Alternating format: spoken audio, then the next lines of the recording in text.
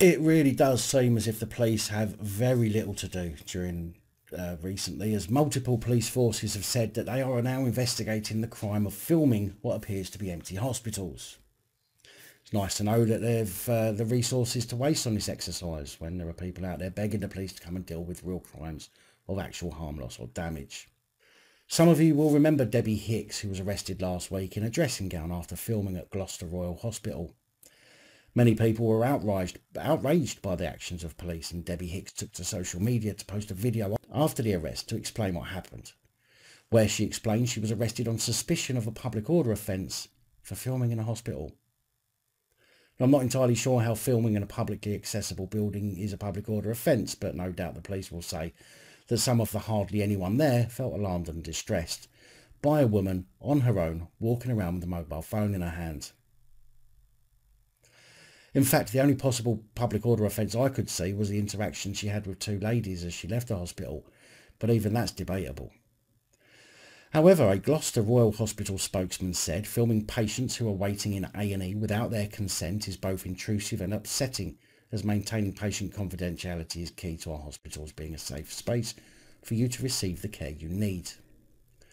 With local MP Siobhan Baillie saying that it's appalling that our Gloucestershire Hospital Trust had to spend their precious time during this difficult pandemic defending themselves against films on social media that were wrongly claiming the hospital is empty.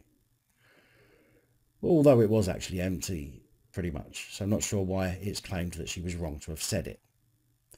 Now, the NHS may be a private organisation and hospitals may well be on what's deemed private ground, but under Section 33 of the Criminal Justice Act 1972, it states exactly what's deemed as a public place. Public place includes any highway and any other premises or place to which at the material time the public have or are permitted to have access, whether on payment or otherwise, which makes the hospital a public place for the purposes of this.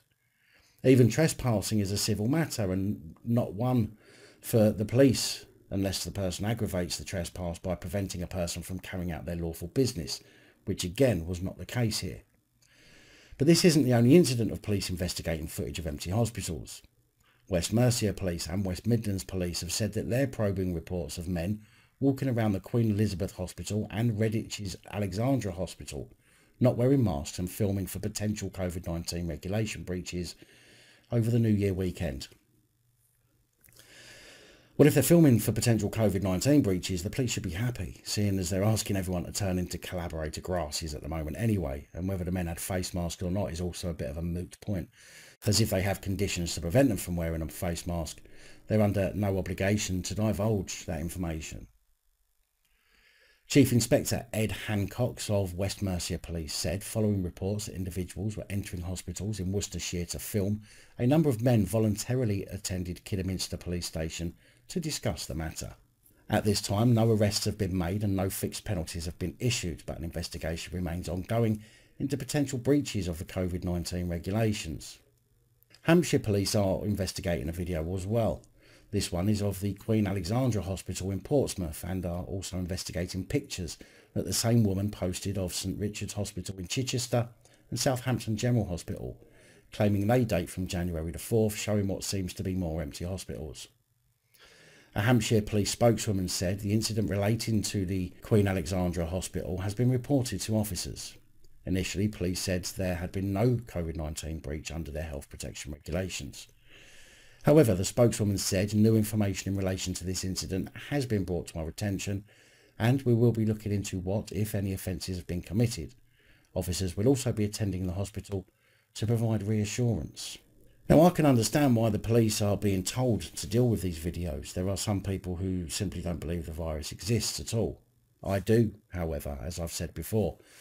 That, but there is no physical evidence that it is as bad as being made out. But the point here is that offences are literally being conjured up in order to deal with these incidents when no offence exists.